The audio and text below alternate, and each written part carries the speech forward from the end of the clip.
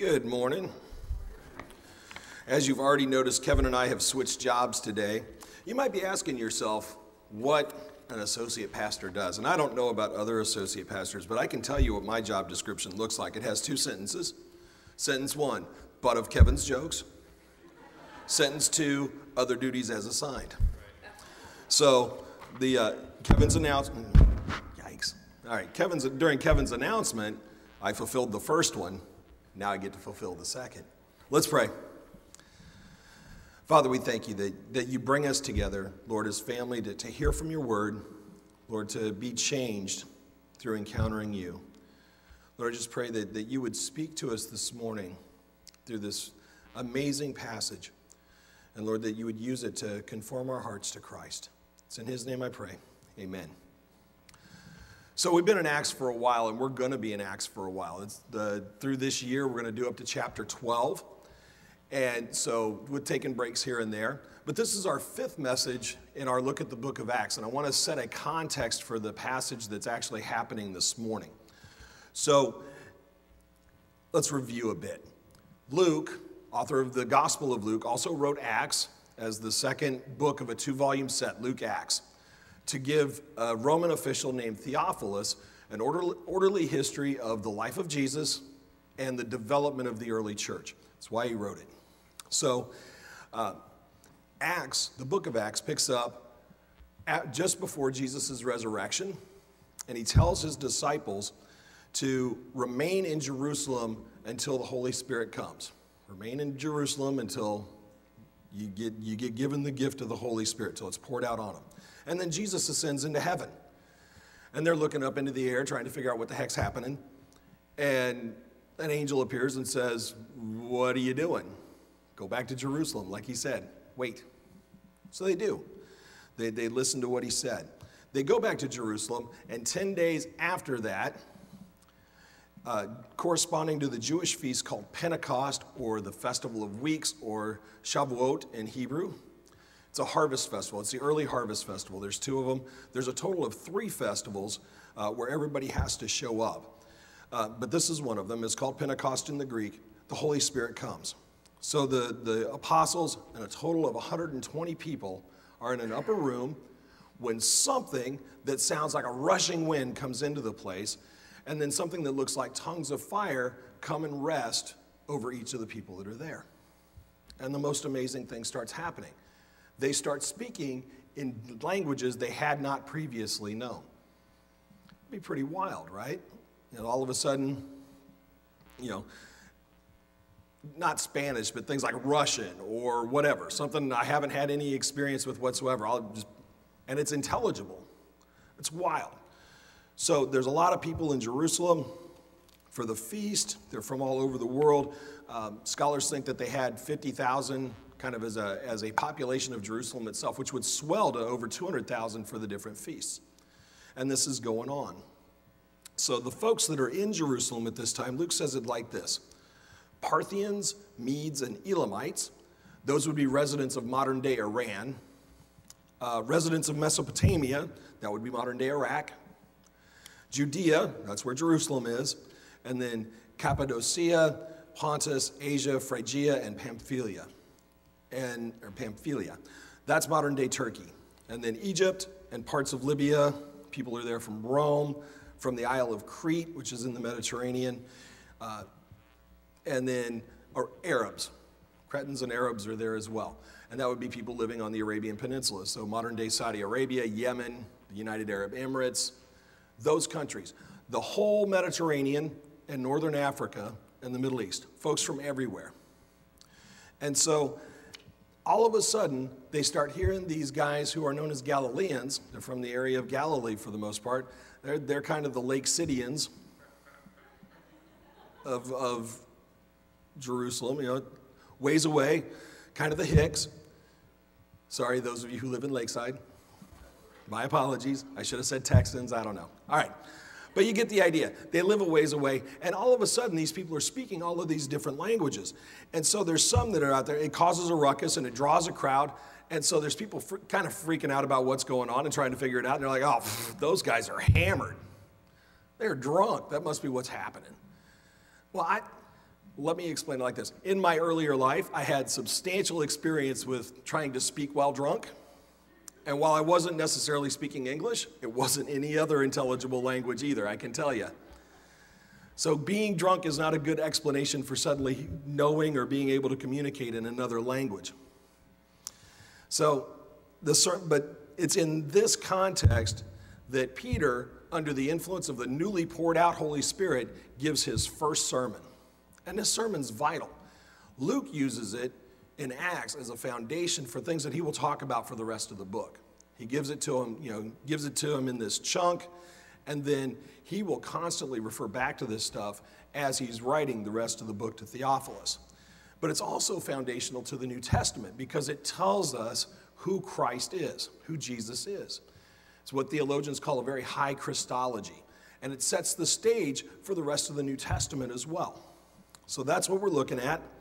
It's uh, pretty lengthy, it's 27 verses long, and we are just, we're just going to walk through the story. Um, I put some of the key verses from the, the passage in the front page of the bulletin because there's just not room for all 27 of them. And so feel free to, to go read it on your own. It's Acts 14 or Acts 2, 14 to 41. But we're going to walk through it and we're going to talk about some stuff along the way. So up on the screen should be verse 14. Peter stood up with the 11. Now remember, there's 12 total, Matthias has already been chosen earlier in the book of Acts to replace Judas Iscariot, who killed himself. So the 12 are at their full complement. So Peter stood up with the 11, raised his voice, and addressed the crowd Fellow Jews, and all you who live in Jerusalem. Uh, maybe, maybe a better translation of that might be people of Judah, those of you who live here, and all of the rest of you who are visiting for the feast, all of you who are dwelling in Jerusalem, those of you who are here. Peter says, Let me explain this to you. Listen carefully to what I have to say. Now, both of these phrases are written in what's called the imperative in Greek. It's the language of command. It is the equivalent of Peter going, getting up and going, Hey, listen up. This is important. Pay attention. These people, going on to verse 15, these people are not drunk, as you suppose. So the first thing he does is refute the ridiculous accusation. Obviously, they're not drunk. It's only nine in the morning. That's what he says. It's only nine, it's the third hour is the way that it's actually written, but on the Jewish clock, it's nine in the morning. So these people are not drunk as you suppose. It's only nine in the morning. No, this is what was spoken by the prophet Joel. This is important because Peter's pulling from the Old Testament scriptures. There's not a, the New Testament scriptures are being written as Luke is writing this. There's not a New Testament for them to look at yet. He's pulling from the Old Testament scriptures. There are, uh, to help people get a grip on what's happening. And, and think about it this way in this time, there really was an anticipation of Messiah coming and making all things right. So even though the majority of us will find out missed the idea of Jesus being the Messiah, they were looking for a Messiah. So Peter gets up and he starts talking. And he says, In the last days, and this is him quoting the, quoting the prophet Joel, in the last days, God says, I will pour out my spirit on all people. Your sons and daughters will prophesy. Your young men will see visions. Your old men will dream dreams. Even on my servants, both men and women, I will pour out my spirit in those days, and they will pro- prophesy. This is absolutely fascinating to me. Just the different groups that are talked about. Not even Peter understands the full enormity of the revelation that he's been given, that he's now giving to the people around him. He doesn't get the big picture yet. He's working his way through it too. He's spot on, and we'll see it as we go on, but Peter struggles with it. But check out the, this sweeping nature of whom, on whom God will pour out his Spirit. All. Pour out his Spirit on all people, not just Jews, but Gentiles too. It's a big deal. There's no differentiation based on race or ethnicity. It's not about one chosen group of people anymore. In the last days, he'll pour out his Spirit on all people. This is a fulfillment of something that God promised Abraham, that he would be a blessing to all of the families of the earth. Spirit's poured out on all people. That's in Genesis 12. So, and Peter won't understand what God meant by all until chapter 10 when he runs into a guy named Cornelius who was a Roman. Spirit will be poured out on all people. There's no differentiation based on ethnicity. It's poured out on sons and daughters, men and women. There's no differentiation based on gender. Pretty simple. It's going to be poured out on everybody. Young and old, no differentiation based on age, even on servants. No differentiation based on social status. All of those things that we love to divide over, God cares nothing about. They're meaningless in the scope of God pouring out His Spirit. So, God's Spirit is available to everybody, including us. We'll talk more about that in a minute. But let's go back to the passage. So, verse 19 I will show wonders in the heavens above and signs on the earth below blood and fire and billows of smoke. The sun will be turned to darkness and the moon to blood before the great and before the coming of the great and glorious day of the Lord. And everyone who calls on the name of the Lord will be saved. There's a lot going on here, but it's really it's highly picturesque language of God showing up. A theophany. God God appears. The last days have started. That's what Peter is saying. This is what Joel was talking about in the last days. Last days have started, but there's a culmination to that last days period called the day of the Lord. And it's, it's talked about in various ways throughout the entire Old Testament and in the, into the New Testament as well. But the idea is always God's final intervention where he, uh, he punishes sin, he shows, up, he shows up into human affairs to punish sin, restore his people, and then establish his rule over the nations. So, just like Joel's use that Peter is showing, the last day, or the day of the Lord, is always linked to messianic hope, and it's fulfilled in Jesus' return. Now, about this day, we don't know when it's coming. It's just that simple. If you see or somebody say it's happening on May 10th, don't worry about May 10th. They don't know. See this happen over and over again? But he's coming back. That's the deal. He's coming back. Everything's going to be made right. The day of the Lord's going to happen. But it'll be heralded and accompanied by signs, wonders, great upheaval in nature. Basically, God's going to flip the world on its ear. He's going to turn everything upside down. He's going to make it all right. So Peter goes on. Fellow Israelites, listen to this. Again, the imperative to listen up. Jesus of Nazareth was a man accredited by God to you, or accredited by God to you by miracles, wonders, and signs, which God did among you through him, as you yourselves know. Remember, this is Pentecost. Folks got to show up three times a year. Every Israelite male is required to be in Jerusalem for these feasts. They were just in Jerusalem a couple of months before when the events of the Passover took place. That's when Jesus was crucified. So, as you yourselves know, this man, Jesus, was handed over to you by God's deliberate plan and foreknowledge. And you, with the help of wicked, literally lawless men, I mean, talking about the Romans, people who don't have the law, put him to death by nailing him to the cross. So even though Jesus is handed over to them by God's plan, it doesn't release them from the guilt of having handed him or of having rejected him and him being crucified. It was their sin of rejecting him, it's our sin of rejecting him uh, that places us at odds with God. And even though it's part of God's plan, it doesn't release us from our part in that. Does that make sense? Going on into verse 24. But God raised him from the dead, freeing him from the agony of death, because it was impossible for death to keep its hold on him. freeing him from the agony of death. The term used there is normally associated with childbirth. Kind of interesting, the freeing of the agony idea. And the point that Peter's making is it's no more possible for death to hold Jesus than for a pregnant woman who's ready to give birth to keep a child inside. It's not possible, it's coming. Uh, so remember, Peter, the first of the apostles, is called equals, or the first among equals. Um, he's given his eyewitness testimony. And so now, going in, going in back into the passage, he's going to he's to point to David, Israel's greatest king, for corroboration. David said about him, and Peter's quoting from Psalm 16. So he's talking about the Messiah Jesus. Um, I saw the Lord always before me. Because he, has, he is at my right hand, I will not be shaken. Therefore, my heart is glad and my tongue rejoices. My body also will rest in hope because you will not abandon me to the realm of the dead. You will not let your Holy One see decay. You have made known to me the paths of life. You fill me with joy in your presence. That's the end of the quotation. Peter goes on to say, Fellow Israelites, I can tell you confidently that the patriarch David died and was buried, and his tomb is here to this day. The location of David's tomb was well known. Even though David was a thousand years before Jesus, the location of the tomb is well known. Um, there was a, another guy named, I always get his name wrong. His name, first name's John. Let's leave it at that. Um, who robbed the tomb in, in roughly 130 BC.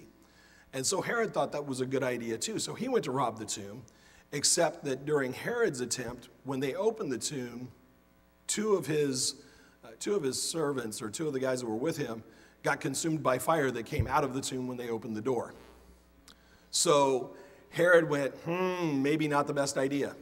And he built this marble, this white marble portico over the tomb of David. So, designating it, it's a well known place. It's like, look, we know where David's at. He's there to this day. So, Peter's argument is that David couldn't have been talking about himself because David's body was in the place of the dead. His body did see decay. So, he could not have been talking about himself. He goes on to say, but he, talking about David, was a prophet and knew that God had promised him on oath that he would place one of his descendants on the throne. Now, we call this the Davidic covenant, and it's in 2 Samuel chapter 7, that it would be a forever kingdom. One of David's descendants would sit on the throne. So uh, we know that that's what was said. So David going on or Peter going on about David, seeing what was to come, he spoke of the resurrection of the Messiah, that he, the Messiah, was not abandoned to the realm of the dead, nor did his body see decay. God has raised this Jesus to life, and we, that would be those on whom the Spirit had been poured out, are all witnesses of it. He's exalted to the right hand of God. He, that would be Jesus, has received from the Father the promised Holy Spirit and poured out what you now see and hear. For David did not ascend into heaven, and yet he said, and Peter's going to quote Psalm 110 this time, the Lord said to my Lord, Sit at my right hand until I make your enemies a footstool for your feet. Therefore, let all Israel be assured of this God has made this Jesus, whom you crucified, both Lord and Messiah. Let that sink in for a second. And Peter's talking to these guys like, You, whom you crucified, God made that guy Lord and Messiah. And the use of the word Lord here is in, is in common practice. Jews don't normally say the name of God, it's too holy, so they would substitute the Hebrew word Adonai. The Hebrew word Adonai in Greek is the word kurios, which gets translated Lord. Really, Peter's saying, made him Lord and Messiah. And so the Messiah, the one that the Jews had been waiting for for centuries, had come and they killed him. That's what Peter's telling them. He was here and you killed him. Your sin, your rejection of the Messiah, that's on you. Guess what? Our sin, our rejection of the Messiah, that's on us too because it was for forgiveness for sin that Jesus was crucified. We're celebrating the Lord's table today. We're going to talk about that. But it's our sin just like their sin that had a hand in crucifying Jesus. You guys remember the movie uh, Passion of the Christ? Mel Gibson made it. You know that Mel Gibson had a cameo in that movie? I remember reading this story. It just fascinating to me. He didn't want his face in the movie. He didn't want to take away from the movie that was being done. He didn't want to put his mug in there. But he's got a cameo. And his cameo is he is one of the Roman soldiers who nails the cross in, or nails the, the spikes into Christ's hands. He got it. I mean, honestly, he's got other issues, I know. That's okay, everybody else does too. But this idea of it's, it's your sin, it's my sin that nails Jesus to the cross, just like it was their sin, like Peter was telling them. It's pretty crazy stuff. So Peter closes, Therefore, let all Israel be assured of this God made this Jesus, whom you crucified, both Lord and Messiah. When the people heard this, they were cut to the heart and said to Peter and the other apostles, Brothers, what shall we do? oh. Holy, holy crap, what happened? Wait a minute. They're freaking out. It's like, what? They were cut to the heart. They heard what Peter said, they recognized their part in it, and they're trying to understand how to make it right. They understand that it's bad, and they're, they're freaking out trying to make it right. It's pretty amazing. That cutting to the heart is exactly what Jesus said would happen when the Holy Spirit came because it's the Holy Spirit that does the cutting. I'm going to take a look at a passage in John. Now, the context for this passage is it's the night before Jesus is crucified. He and his disciples are together. It's after the Last Supper. He's given them the last bit of teachings before he'll be arrested and then crucified. And he's explaining that he will send the Holy Spirit and telling them what the Holy Spirit's going to do. This is John chapter 16, verses 8 to 11 when he, that would be the Holy Spirit, comes, he will prove to the world, or he will prove the world to be in the wrong about sin and righteousness and judgment. About sin, because people do not believe in me. About righteousness, because I'm going to the Father, where you can see me no longer. And about judgment, because the prince of this world now stands condemned. It is a hugely laden passage, and we are not going to pick it apart today. But Peter's given his testimony. The scripture concurs with his testimony, and now the Holy Spirit is a third witness to, to tell these people what's going on. And that's evidence by their reaction to the Holy Spirit cutting them to the heart. Just like he cuts us to the heart when our sin is, explode, is exposed. And they freak out. Brothers, what do we do? So Peter gives them the solution back into Acts.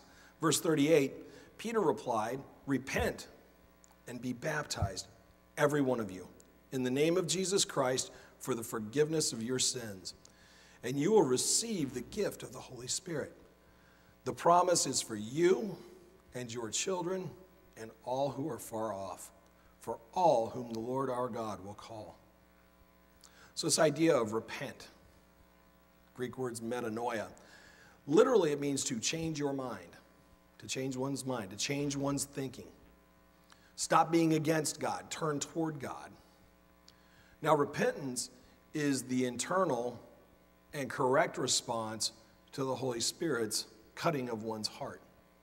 We realize what's going on. Oops is not a bad way to, to get there. You know, brothers, what do we do? You repent. You stop doing what you were doing, start doing what you're supposed to be doing. It's that simple. So repentance is the, is the internal response. And then being baptized or immersed in water, Kevin talked about that a lot last week, is the outward symbol of the new reality. Every time we do a baptism, we see that symbolism. Being buried to the old life, going under the water, being buried to the old life, rising up out of the water in new life. The water, the water washes us. We're immersed or we're baptized in the Spirit, which then enables us to live this new life. It's not, oh no, you got to go figure it out on your own. Flip it around and then, you know, go figure it out. It's, you get the Spirit, you repent, you get the Spirit, and the Spirit empowers you for living that new life. So we're, we're born of the Spirit, or as John says later on in, in chapter, as John says in chapter 3, we're born again. And I love this next part. It's a promise to you, your children, and all who are far off. That's us. Them, their descendants, and everybody that the Lord calls. It's just fantastic. And so Peter goes on, and, and Luke summarizes the rest of what's happening with Peter. He says, With many other words, he warned them and he pleaded with them save yourselves from this corrupt generation. Those who accepted his message were baptized, and about 3,000 were added to their number that day. So Peter's warning is as applicable to us today as it was when he was talking to the guys in that first sermon. Save yourselves from this corrupt generation. Nothing has changed in the human condition since Genesis chapter 3. There's one way to get there. Peter's laid out what it is repent and be baptized in the name of Christ. So 3,000 accepted the message, meaning that they had repented, they had that internal change, and then they were baptized, and the church grew from 120 to 3,120. That's pretty impressive sermon. And then next week, Pastor Kevin's going to look at what those, what those new believers did. That's the, the passage he's going to pick up on and what they did as a result of having encountered the Holy Spirit. As we're wrapping things up this morning, I want to give you three truths about the kingdom as a result of the fact that the Spirit has arrived. And so if you want to jot this down, you can. Number one, the kingdom is here now. It's here. These are the last days that the prophet Joel was talking about. The, uh, the author of Hebrews says it like this how, how the book of Hebrews opens. In the past, God spoke to our ancestors through the prophets at many times and in various ways. But in these last days, he has spoken to us by his Son, whom he appointed heir of all things, through whom also he made the universe. Peter says that these are the last days that Joel was talking about. The author of Hebrews says that these are the last days. He's making the same point. And God did speak through the prophets, not just Joel, but this whole last days idea is just chock full throughout the prophets with Samuel, Amos, uh, Micah, Hosea, Isaiah, directly speaking to it, and the rest of them alluding to it. So the last days are here. But now that Jesus has come, it's all about Him. It's through the Son and the outpouring of the Spirit that the Son does. So the promised kingdom has come through the promised Spirit from the promised Messiah.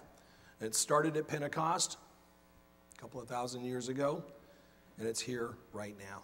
So the kingdom's here now. Number two, the kingdom is open to everyone. Everyone. Absolutely everyone. And trust me, there's theologians all over the place on this. But uh, John, in the prologue of his gospel, says it like this. This is out of John chapter 1. Yet to all who did receive him, that would be Jesus, to those who believed in his name, he gave the right to become children of God. Children born not of natural descent, nor of a human decision, or of a husband's will, but born of God. The kingdom's available to everyone, just like the rain we see today. We don't get rain very often. This is kind of cool when we do. Jesus, in his Sermon on the Mount, says that God sends the rain on the righteous and the unrighteous alike. The Spirit's poured out on all people. Now, there's a condition here, but it's not on God's part, it's on our part. The kingdom is available to anybody and everybody who receives Jesus. Doesn't matter male or female, young or old, servant or master, none of those differentiations, Jew or Gentile, none of those different, it's available to everyone. Those who receive him are born of God or born again. The kingdom's open to everyone, everybody. Just got to receive Jesus. That's the only requirement. And third, the kingdom is guaranteed by the Spirit. Kingdom is guaranteed by the Spirit.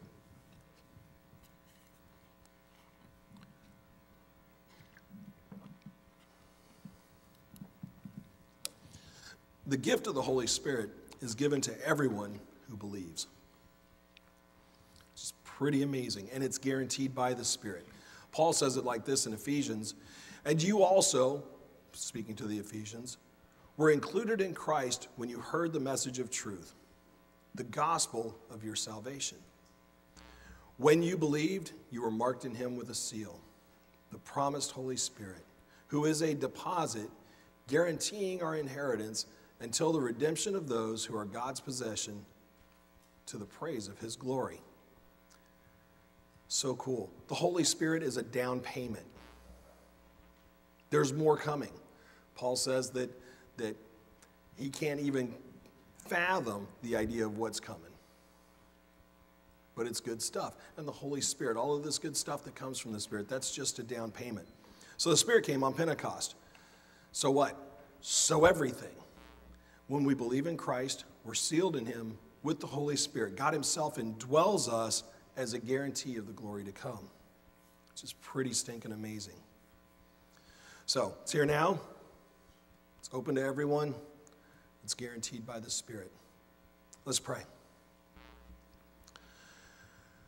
Father, we thank you so much, Lord, for, uh, for the outpouring of your Holy Spirit, Lord, that, that enables us to escape from the things of our old life our anger, our prejudice, our, uh, just our stuff. And Lord, that you're still doing that today. Father, as we, uh, as we pray today, I would pray that if anyone doesn't know you, that if, that if there's anyone here that hasn't accepted Christ, that they would today, and that they'd receive the Holy Spirit, get that guarantee of, of the glory to come and the ability to live a new life today.